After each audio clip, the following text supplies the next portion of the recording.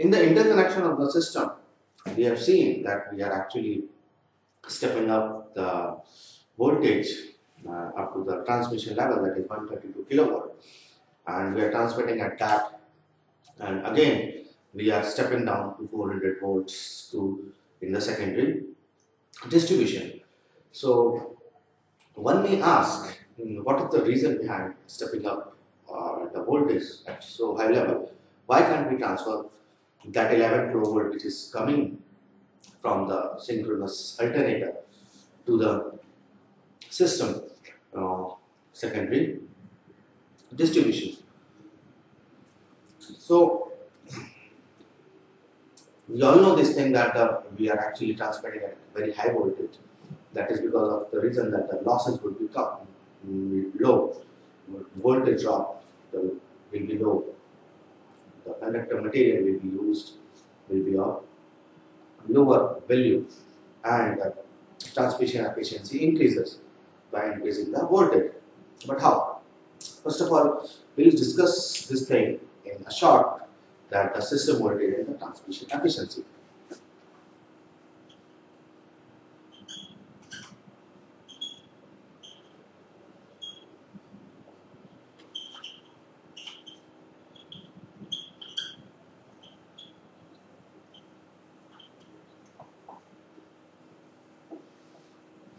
So the first thing which comes in the system voltage and the transmission efficiency is the power loss.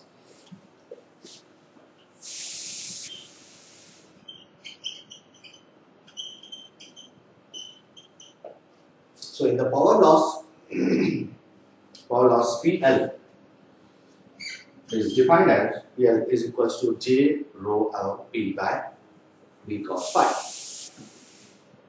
J rho L P by V cos phi.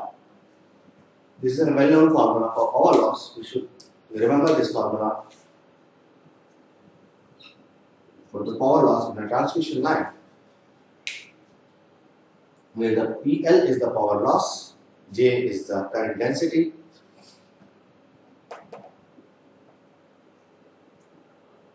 rho is the resistivity of the material, L is the length of the material, uh, length of the conductor, P is the power to be transmitted, and V is the voltage, cos phi is the power factor. So here we can say that the power loss increases with the increase in length. So we can say that power loss is directly proportional to the length. This is constant, this is almost constant current density, I by A, length and the power to be transmitted, P. So power loss is directly proportional to the length of the material, length of the transmission line. Once the length of the transmission line is increasing, then the power loss also increases. Apart from that, if the power to be transmitted is increasing, then also the power loss increases. So, how to decrease the power loss? So, here one can also say that power loss is inversely proportional to the V cos phi. So, as the voltage increases, as the voltage of my transmission level increases, the power loss decreases. So that is desirable that the voltage should be as high as possible.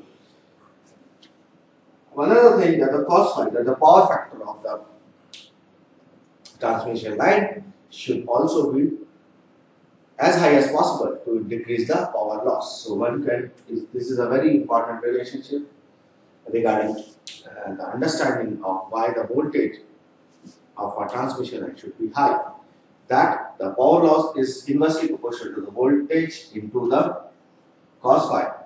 That the voltage should be as high as possible to decrease the power losses, as well as the cos phi, that is the power factor, should be as high as possible to decrease the power loss. So power loss formula you can understand V cos phi power loss is inversely proportional to V cos phi. So another thing comes the part B of this is the voltage drop in the resistance.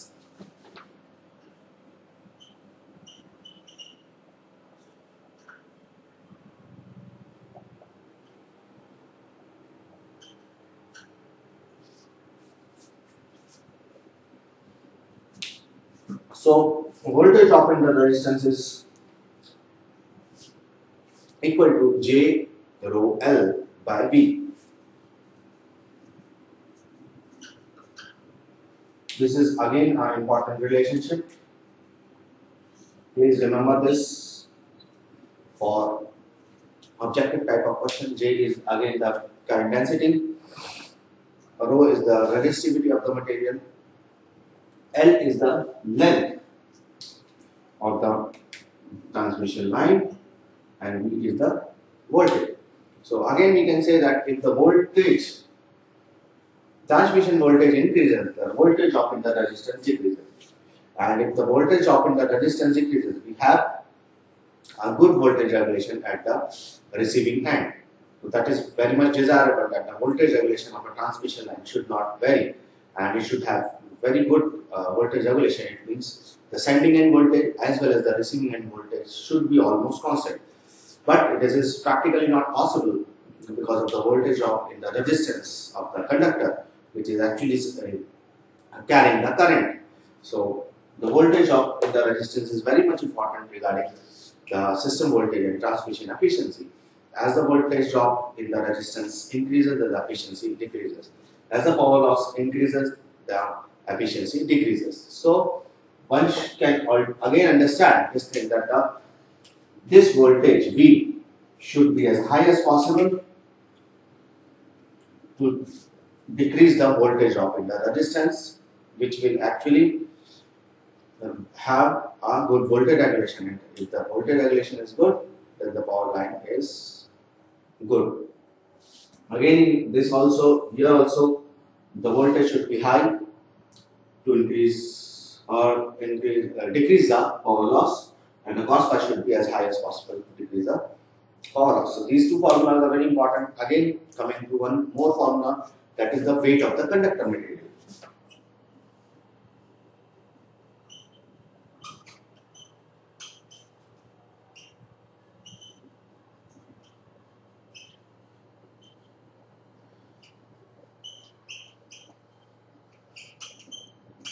Weight of the conductor material is directly proportional to the sigma P L by JV cos theta.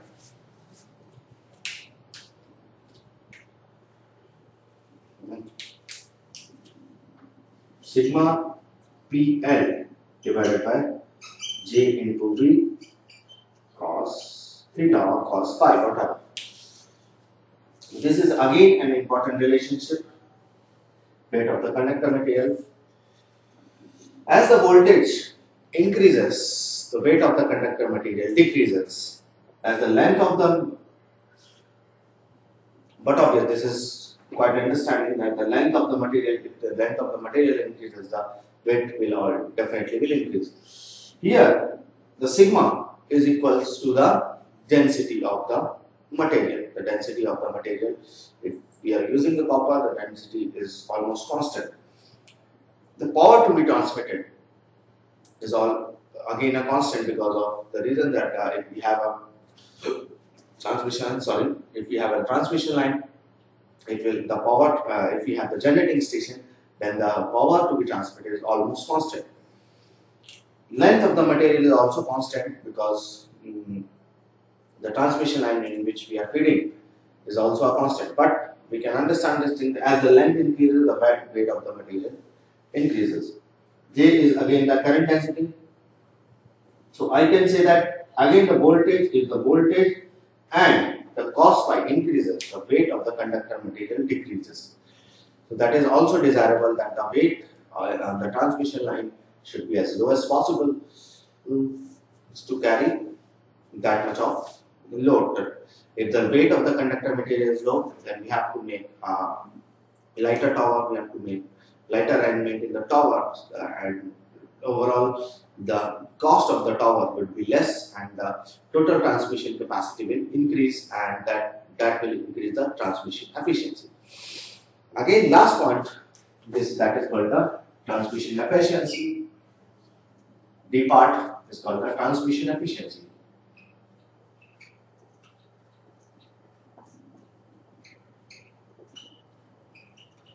The transmission efficiency is equals to 1 minus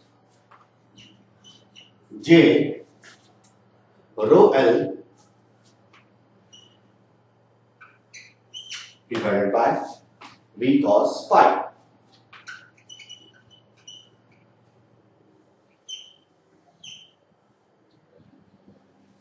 This is an also an important relationship in transmission efficiency. So please remember these formulas as the power loss increases, but if the power loss is to be decreased actually, then the voltage and cos phi is to be increased.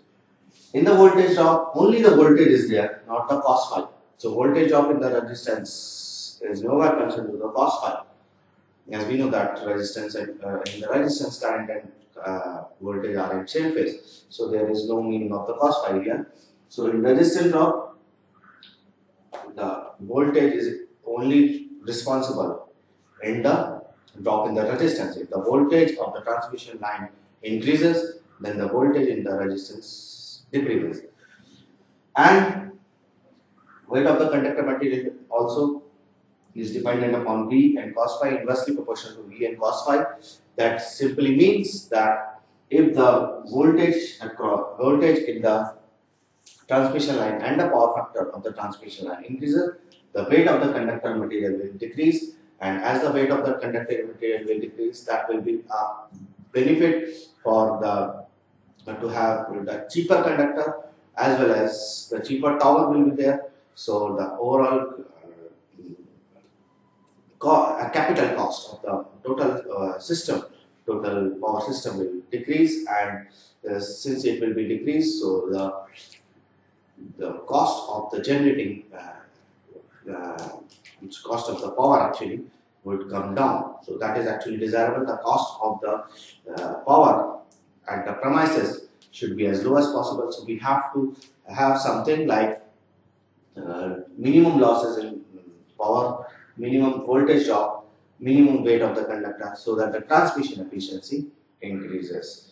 So these four formula are very much important regarding objective type of questions. So we either directly it can be asked that the power loss is directly proportional to voltage or inversely proportional to the voltage or inversely proportional to the square of the voltage. We should be knowing this thing. So from uh, the theoretical part of the power loss, voltage drop and the weight of conductor in terms of voltage is very much required. So that is which we have seen right now. So please remember these formulas.